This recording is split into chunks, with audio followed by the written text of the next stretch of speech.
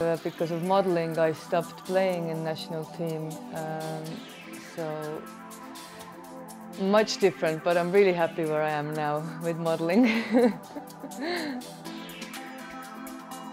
I think sport has brought to me uh, strength.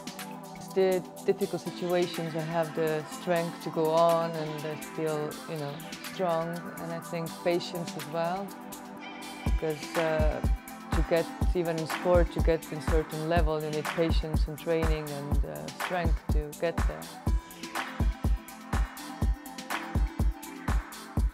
Yes, of course, I'm competitive. Uh, not in a, I think, in a bad way that I want to be someone else or whatever, but if I'm playing with my boyfriend, for example, um, card games or play with my friends, uh, football, for example, I need to win, so I, fight for it to win. my goals, uh, one day to have a dog, uh, two dogs, two cats, uh, nice country house and uh, kids and family. That's my goals at the moment.